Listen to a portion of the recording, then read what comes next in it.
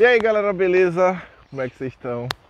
Olha nós em mais uma caminhada pelo parque.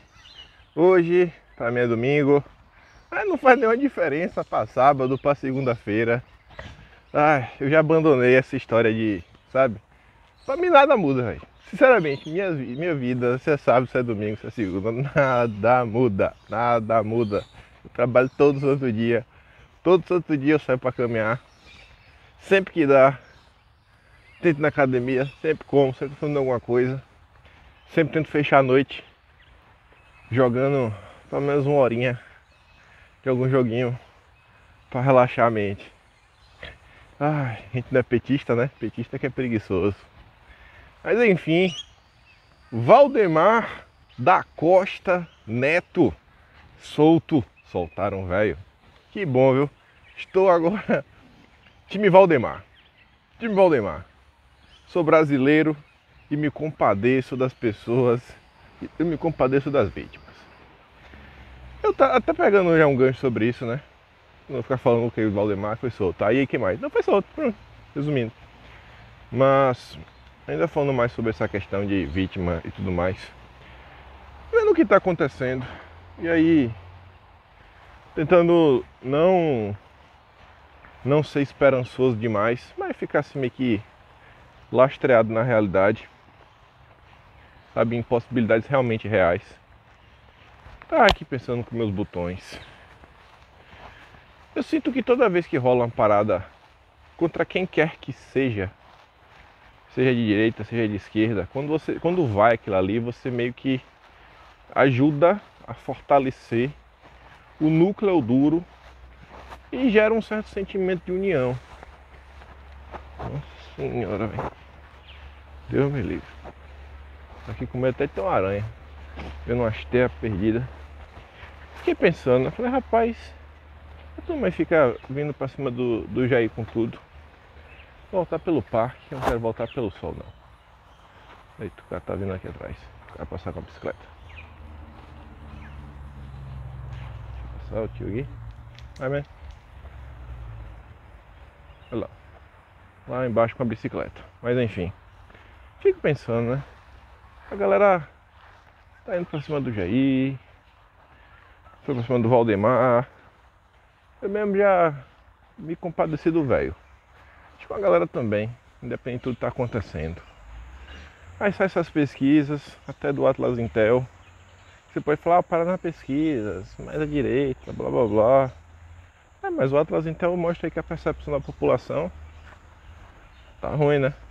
Tá meio, tá meio ruim em relação ao judiciário.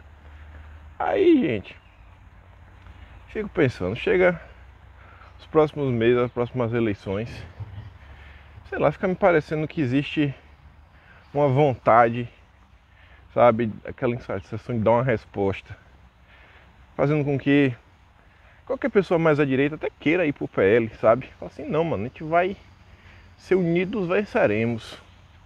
Unidos venceremos. E você realmente, sabe, calcificar, formalizar uma direita no Brasil.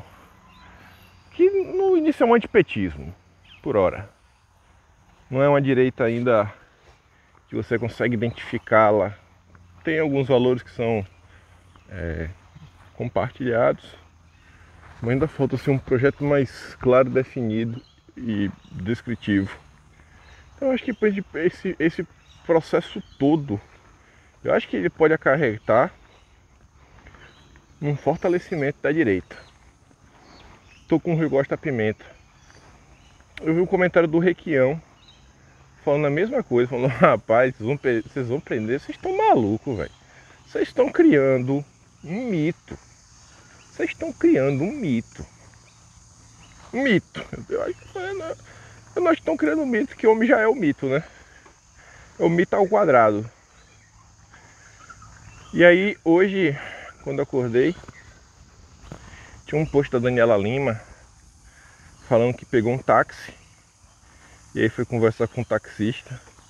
E o taxista falou, pô, vai prender o cara, prende, prende por um crime, um crime de verdade, né? Por um crime de verdade, né? E aí ela fala, rapaz, gente, o buraco é muito mais embaixo. a Daniela Lima saiu da redação da Globo, né? saiu do grupo de WhatsApp dos militantes doentes e aí ela conversou com pessoas comuns. Aí ela viu que a pessoa comum não compra a narrativa da Rede Globo. Ela falou: ih, ih rapaz, ih rapaz, e aí? E aí, Dani? Pois é. Nossa, velho, vamos ter com um de aranha no meio do nada. Tá doido, eu tô ficando nervoso. Sei que é isso. Daniela Lima preocupada com desenrolar. E aí a imprensa toda, né, óbvio, tá fazendo a parte dela para tentar criminalizar o Jair. Aí faz o quê? Convida 10 juristas, todos de esquerda, todos pró Lula, para comentar sobre o caso. Aí todos têm a mesma opinião. Mas a intenção da Globo é mostrar para a sociedade que, olha, veja que todo mundo concorda. As mais diversas pessoas concordam que Bolsonaro está errado. ah, a bicha é muito cara de pau, é Daniela Lima. Ô mulher miserável. E a Rede Globo idem. Nasceram um pro outro. Aí teve isso. Jaizão deu entrevista pra Veja, falou que vai ser candidato em 26. Acho que agora, mais do que nunca, Bolsonaro quer ser candidato. Eu acho que ainda tá meio assim, sabe? Só pelo, pelo flow do momento. Só pelo movimento, sabe? Só pela pirraça. Agora acho que ele tá determinado. Assim, pra você candidato, velho. Vou ser candidato. Tá louco. Aí imagina aí. Imagina, sério mesmo assim por um segundo. Né? É o conto de fadas. Ó, eu acho que se chegasse amanhã e falasse, ó, amanhã Bolsonaro é candidato. Está elegível de novo. Ia ter um clamor, pá, etc. Né? Confusão e tudo mais. Ia ter uma campanha normal em 2022, campanha grande, né? Ia ser com tanto antipetismo. Agora, se tornarem Bolsonaro elegível aos 48 do segundo tempo, sabe? Eu não sei quando é que você registra a candidatura, mas sei lá, se você registra a candidatura em julho. Julho de 2026. Rapaz, se eu se falasse assim, no dia, no último dia, nas últimas horas, quando não tem mais ninguém esperançoso, mas estava com toda a documentação pronta que nunca se sabe, vai lá ser uma decisão. Bolsonaro pode ser candidato. Aí, meu filho, não é não. Não tem, não tem, mas não tem nada, nada que impeça esse homem de voltar a ser presidente. Porque eu acho que esse é aquele sentimento de falar, irmão, agora não tem mais o que fazer. Aí o país para de vez, seis meses. Bolsonaro voltou, só se fala nisso. 24 horas por dia. Aí vai ser só comício atrás de comício parando o Brasil. Se fosse 45 do segundo tempo, ia ser emocionante demais. Tá louco. Certeza aí que aí, aí não tinha o que fazer. Aí era só lamento pro Lula e toda a sua turma. Sei que o Brasil tá, tá demais. Eu fico, eu, eu fico assim pensando, gente, para que lado vai, bicho? O que é que esse sentimento que está sendo gerado vai provocar? Porque tá gerando, mas tá mais do que claro, algum, alguma coisa tá acontecendo. As pessoas podem ficar tristes, desmotivadas, etc, tudo mais, quer saber mais de nada, mas o sentimento não vai embora. A, a, o que as pessoas pensam de dos representantes, dos agentes públicos, isso não vai mudar. Isso vai ficar aí. Para onde isso vai? Será que vai vir uma opressão ao ponto que não importa nada da insatisfação popular, nada vai acontecer, nada vai mudar? Eu acho muito difícil. Eu acho muito difícil. Que seja uma direita permitida, moderada, etc. Cara, eu não consigo ver um cenário sustentável para o PT no curto prazo. Não vou nem falar no médio prazo, digo no curto prazo mesmo. Curto prazo para mim é cinco anos.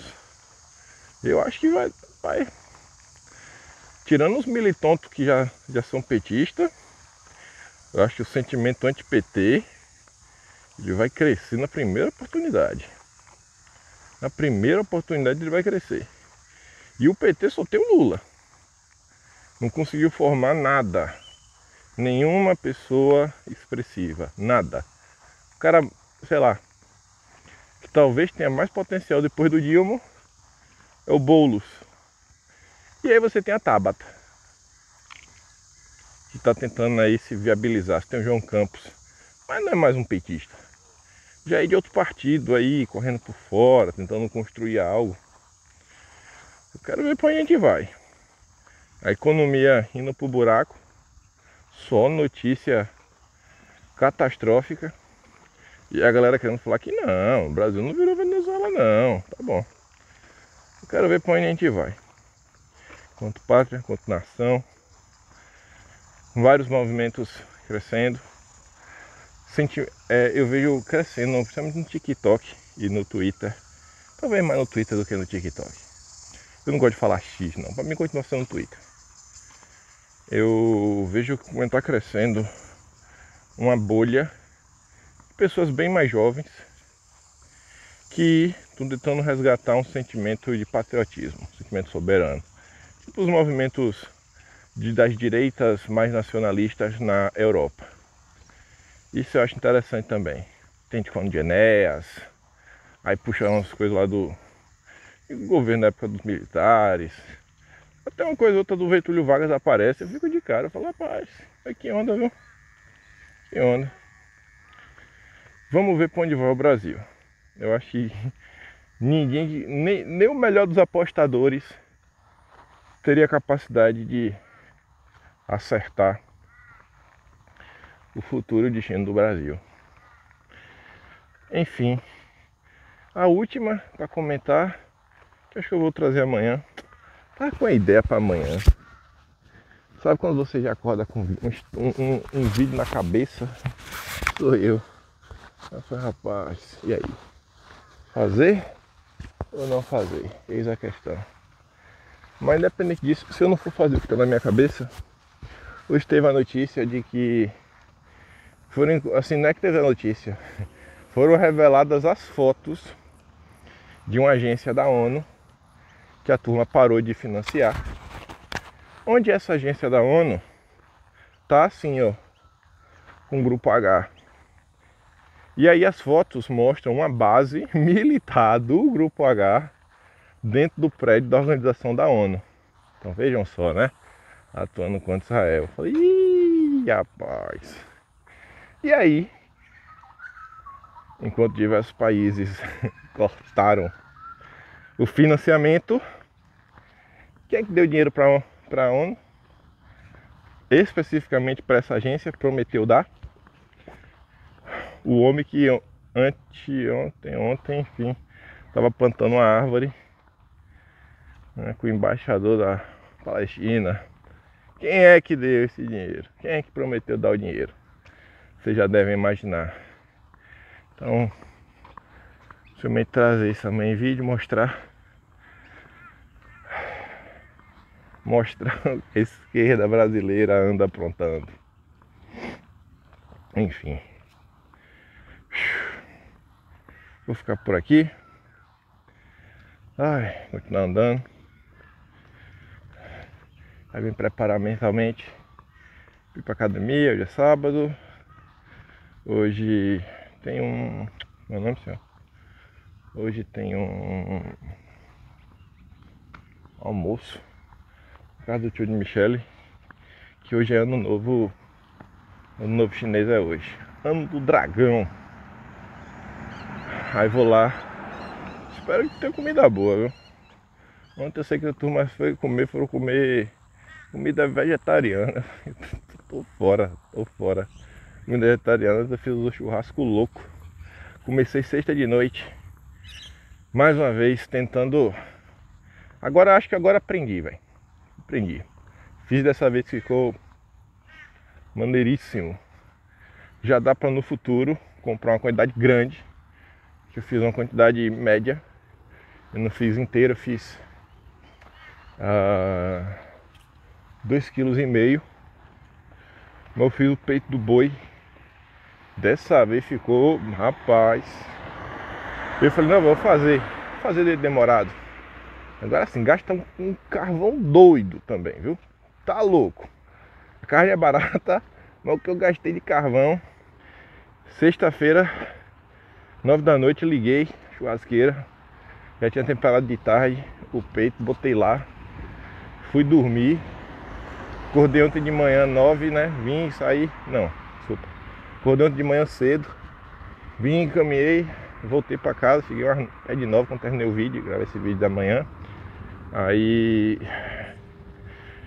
tirei a carne, enrolei no no papel de açougueiro, botei de volta, dei aumentar na temperatura, como o pessoal às vezes faz na internet, e deixei. Foi até as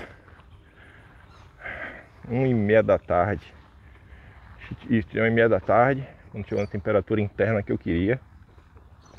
E aí depois eu peguei, liguei o forno porque o, o, o, o, meu forno não é no fogão, né? Que você abre, você bota um fogo embaixo você vai cozinhar. O meu forno é aquele de elétrico. Aí eu botei a temperatura baixinha, botei tipo 60 graus. E aí eu botei a carne dentro do forno para ela abaixar a temperatura no ambiente quente. Para ela abaixar devagar, cozinhando por dentro, ela manter o calor interno. E aí eu só fui comer 4 da tarde. Ou seja, de nove e meia da noite até uma e meia da tarde foram 16 horas. Mais duas horas e meia resfriando. Quando eu fui comer, tava muito bom, viu? Nossa, tava não, tá muito bom. Agora, mas é isso. Eu, eu, eu já tinha comprado porque eu achei tava muito bonito o peito que eu comprei outra vez. Foi aí, eu fazer o churrasco em casa, eu tava na soia e comprei. Vou fazer agora mesmo e poder chamar. Tem um amigo meu aqui que eu vou chamar quando eu fizer. Mas para eu fazer de novo, me aproveite, eu só vou fazer outro desse. Vou comprar a peça inteira. Comprar o, sei lá, porque um, o peito do boi é uns 5 quilos. Comprar uns 5 quilos, aí você faz de uma vez só. Aí vai ser carne para semana toda também, né? Na verdade, nem uma semana eu como. Porque se você chama alguém, beleza, a carne vai desidratar, vai perder líquido, desses 6 quilos deve cair para uns 4.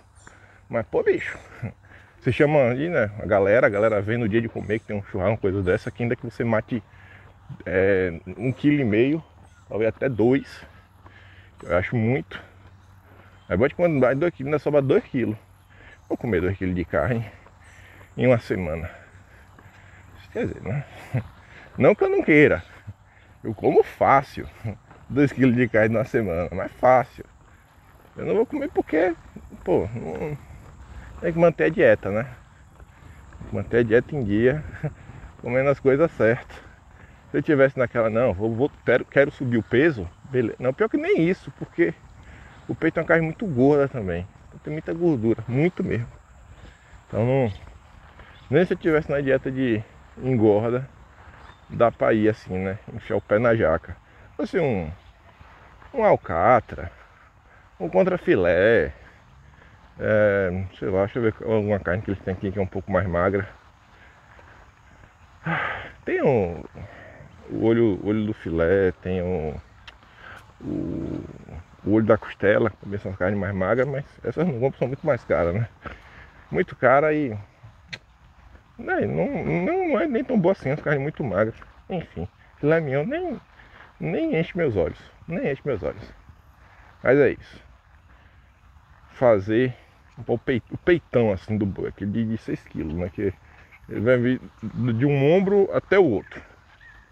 Fazer, cortar, botar agora, falei, não, é, aprendi. Aprendi, fiz, meti logo o vídeo lá no, no grupo do Quinto Elemento. Falei, chupa aí, ó. O, o, e aí depois que eu fui descobri que o boi tava gripado. O boi tava gripado. Eu peguei a carne, cortei. Na hora que eu apertei assim, espirrou. Eu falei, nossa, o boi tá gripadinho. Tô brincando, né? Vou mostrar que tava derretendo por dentro. Daí, pronto, deixei vocês já na vontade. Vocês já devem estar aí, que desgraçado. Falando de comida, tô morrendo de fome aqui. Não tem nada na geladeira para comer. Ou pelo menos não tem nada pronto. Eu não quero cozinhar. Esse menino tá me deixando com fome. Não posso fazer nada. A culpa não é minha. E é isso, gente. Que grande beijo e abraço. Até amanhã. Fui.